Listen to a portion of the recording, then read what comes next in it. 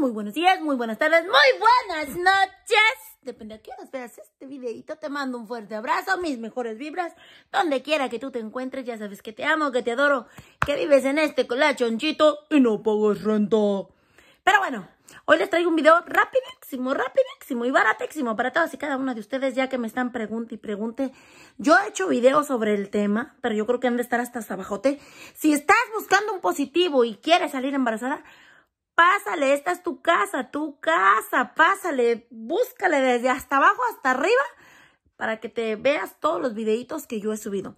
Este tema ya lo he tocado, pero lo quiero volver a tocar porque me lo están preguntando demasiadas veces. ¿Ok? Muchas, muchas veces. Me preguntan, me dicen, chiqui mami, ¿cuándo puedo lograr un positivo después de una pérdida? Ok, ya les he dicho, mis amores, para mí lo más regular para que tú busques un embarazo después de una pérdida es al mes y medio de tu pérdida. O sea, a la primer regla verdadera, porque cuando tienes el aborto no es regla verdadera, eso es un aborto. A la primera regla verdadera de lo que viene siendo tu pérdida. Por ejemplo, si tuviste tu pérdida el, en enero, en febrero, ya vas a tener tu primera regla verdadera. De ahí para adelante ya puedes empezar a tratar de intentar salir embarazada por el medio que tú decidas y, quieras, ¿verdad? Ya puedes tratar de salir embarazada, ¿ok?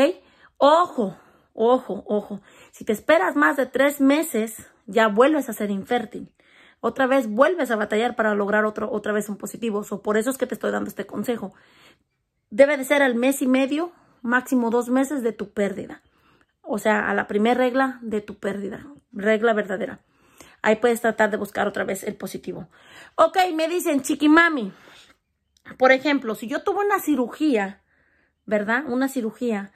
Este, ¿cuánto tiempo me puedo esperar? Ahí sí tienen que ser de cajoncito máximo tres meses para que se recupere bien tu matriz o donde te hayan hecho la cirugía, se recupere bien tu cuerpo para poder procesar la fertilización. Porque déjenme decirles, que cuando haces demasiadas cosas para salir embarazada, no es un embarazo natural, aunque no sea, ¿cómo te puedo decir? No es un embarazo natural porque lo estás provocando una vez de estarte provocando que tu matriz sea más fértil. Entonces, un embarazo natural es como, ups, salí embarazada y no sabía, o sea, salí embarazada y no me lo esperaba, salí embarazada y no lo estaba buscando. Créanme que ahí es un embarazo natural porque te agarra de sorpresa. Pero no es un embarazo natural si tú estás tomando algún producto, sea natural, o sea clomifeno, o sea lo que estés tomando por medio de doctor, de ginecólogo, por medio de naturista o por medio de ti misma. Lo que tomes no es un embarazo natural si tú lo estás provocando a que suceda el embarazo. Entonces, después de una cirugía que, pues, alguna cirugía que hayas tenido en tu persona, y quiera salir embarazada, de por sí el, proceso para lograr el positivo, la matriz como que se entorpece un poco, entonces tenemos que esperar a que se relaje, se le quite el estrés para que logres tú el positivo que tanto, tanto estás buscando.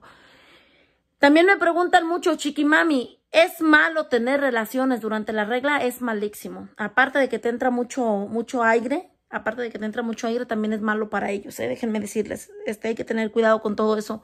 Este, también te voy a recomendar de cajón que si estás buscando un positivo, sigas instrucciones y empieces a cuidarte como si ya estuvieras embarazada para que no tengas un, embarazo o una pérdida, ¿verdad? Un embarazo que no llegue a su término o alguna pérdida, ¿verdad? Para que no sufras de eso. Este, déjame decirte también que no te auto, auto, pues no es medicamentos porque no es medicina, sino no estés autorrecetándote cosas que no sabes si, si te van a ayudar o no. Muchas chicas cometen el grave error de ponerse el cuerpo amarillo y a veces no lo necesitan. Muchas chicas cometen el grave error de no saber cuándo están ovulando y es donde pierden realmente eh, la fecha para lograr un positivo porque no se están este, poniendo al tiro para capear la ovulación. Tienes que checar los días de tu ovulación desde dos días o tres días después de que tuviste tu, regla para que empieces a ver realmente el día que vas a ovular y realmente el día que ya puedes empezar a intentar a buscar el embarazo. ¿Ok? Pequeños consejos que pueden hacer la diferencia para que tú logres ese positivo que tanto anhelas, mi amor.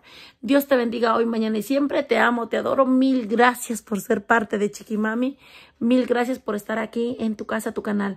No toques, pásale derechito y entra hasta la cocina. Aquí hay mucha información para que tú logres el positivo que tanto anhelas. Que nadie te saque esa ilusión de tu mente. Métela en tu corazoncito y aguárdala ahí.